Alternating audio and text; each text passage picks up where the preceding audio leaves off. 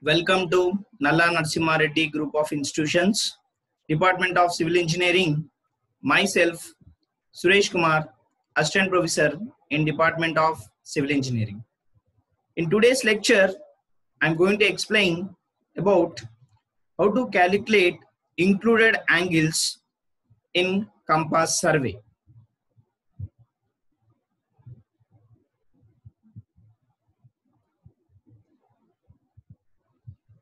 The bearing of the sides of a closed traverse A, B, C, D and E are given in the problem. Side AB and forebearing is given as 107 degrees 15 minutes and back bearing is given as 287 degrees 15 minutes. In the similar way, you have given all the sides AB, BC and CD and DE are given the problem and EA. These all are given in the problem, the forebearings and back bearings. In previous class, I've explained about what is forebearing and back bearing. So if you observe this diagram here, it has shown that station A, station B, station C and station D and station E. The values which are given forebearing and back bearing of all sides are mentioned here clearly. So our main intention is to find the included angle. That what is that included angle? This is my included angle. See, this is my included angle. I need to find this included angle by using the formula. So how to calculate that included angle? If you observe here, my interior angle, we this is my north. So if you observe this, the total angles in this total circle will treat it as 360 degrees. So here my angle is uh, deviating from the north. So if I want to find this included angle, angle theta if I want to find 360 minus back bearing of EA minus forebearing of AB. So if you calculate this back bearing of EA minus forebearing of AB, here the back bearing of EA that is given in your problem.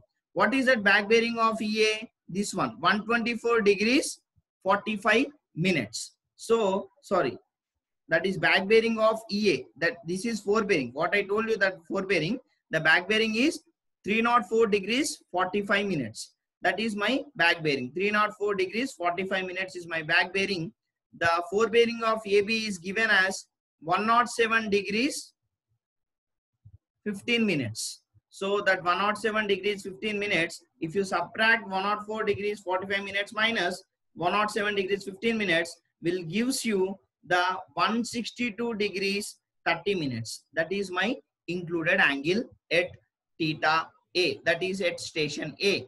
So in the similar way, I need to calculate all the stations, all the stations. So now I will calculate at station B. What is the interior angle? Interior angle at station B. So if I want to calculate that station B, here I am calculating at station B. So if you observe here, if I want to calculate an angle theta B, so if you see here how it is, it is not again here it is my this is my included angle.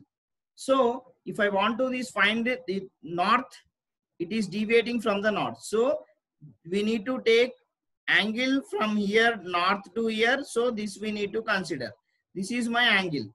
So 360 minus back bearing of AB. This is the back bearing. Back bearing of AB minus forebearing of BC. These two bearings are included in this included angle.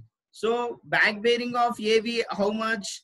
Your back bearing of AB is here 287 degrees 15 minutes. And forebearing of BC. My forebearing of BC is 22 degrees. So this is my 20 degrees. If you subtract this one, I will get the included angle as 94 degrees 45 minutes. This is angle theta B at station at station B.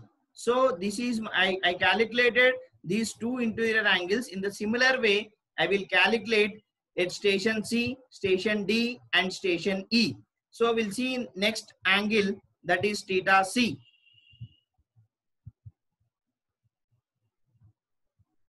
So here how to calculate this included angle at station C.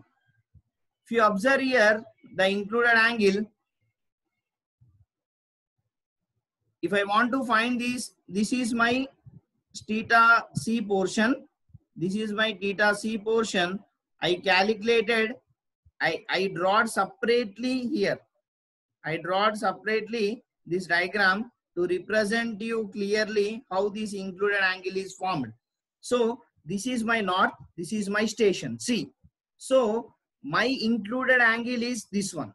This portion is my included angle, only this portion this portion is my included angle. So i need to find out this included angle. How much this is in? So if i want to find this included angle first i need to subtract this total that is the back bearing the forebearing of cd minus the back bearing of bc will gives you the how much this interior angle. So the forebearing of bc of and minus back bearing of b uh, BC will gives you the interior angle at station C that is theta C. So forebearing of CD. What is my forebearing of CD?